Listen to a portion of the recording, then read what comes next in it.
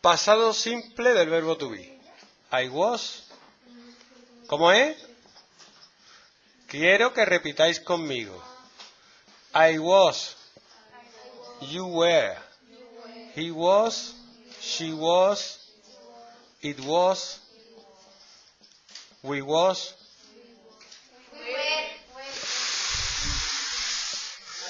Es que, es que, es que, ya, tú ponte a hacer matemáticas, que estás en todo menos lo que tienes que estar.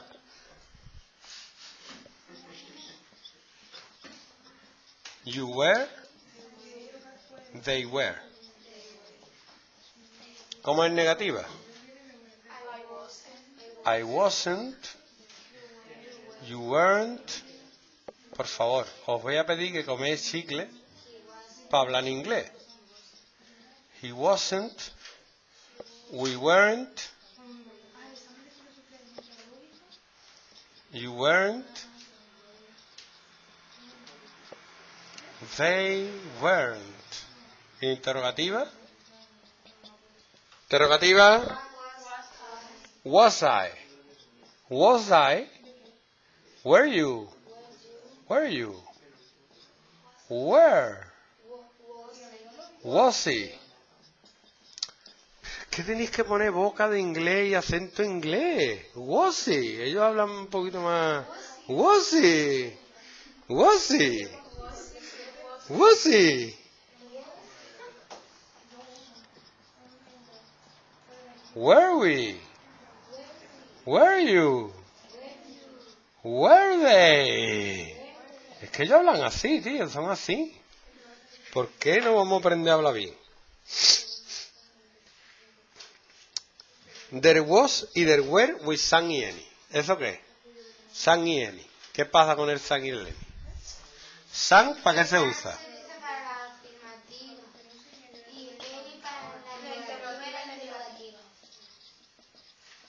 Por ejemplo, there were some cars in the street. Oh, baby. Había algunos cosas en la calle. ¿Y cuando es incontable? ¿Mm?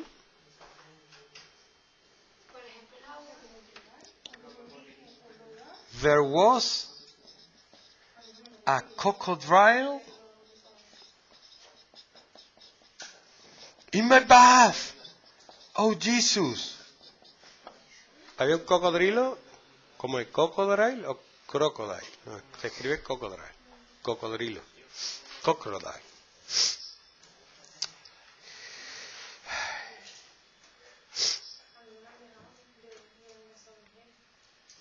Entonces, quedamos que ese singular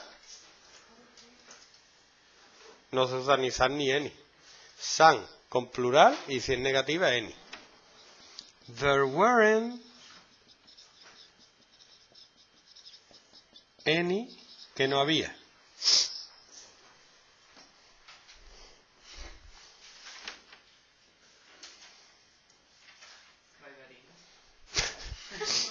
¿Cómo se dice chicos guapos?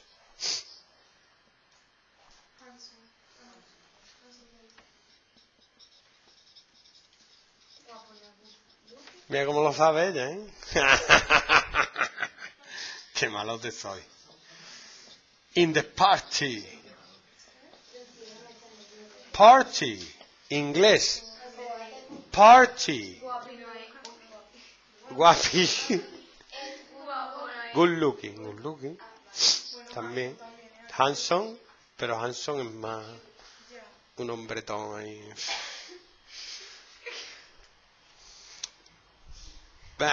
Podéis poner cute.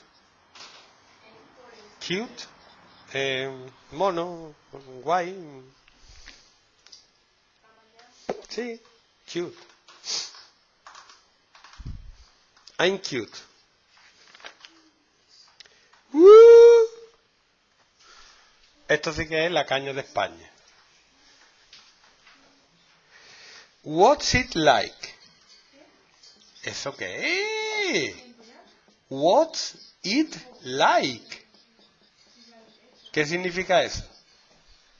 ¿Mm? Eso era de que si es nuevo, como algo, ¿no? What's your new car like?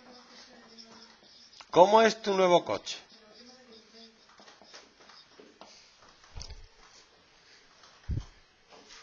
Y aquí pone posición de los adjetivos. Se puede decir it's big. Se puede decir es grande. O se puede decir the car is big. El coche es grande. ¿eh? O it's a big car. ¿Veis la diferencia o no?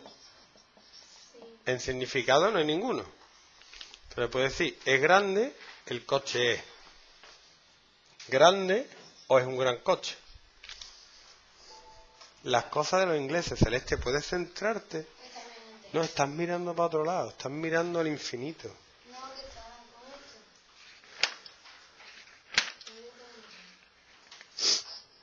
El pasado simple ya lo hemos visto. El interrogativo.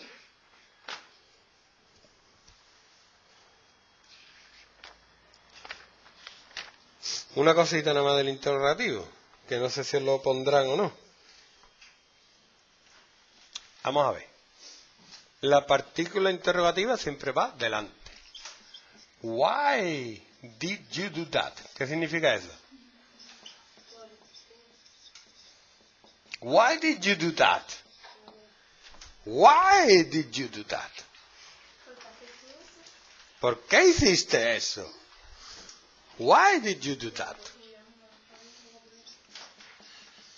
When did you did she go to the bathroom? ¿Cuándo fue ella al baño? Tío, el problema no es cuándo, el problema es con quién, tío. Tienes unos cuernos así de grandes, tío.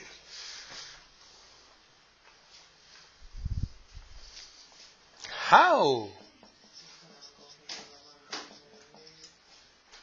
did they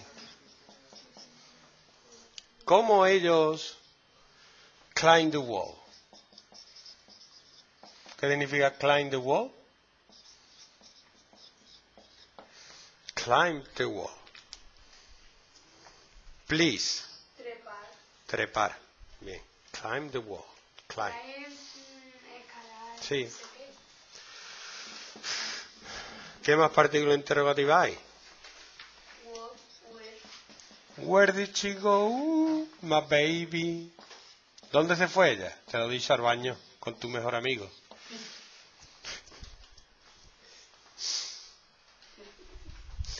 Valeria, ¿estás haciendo algo, no? Ah, tienes que esperar, puedes pensar, puedes pensar, puedes intentarlo, sí puedes. Inténtalo.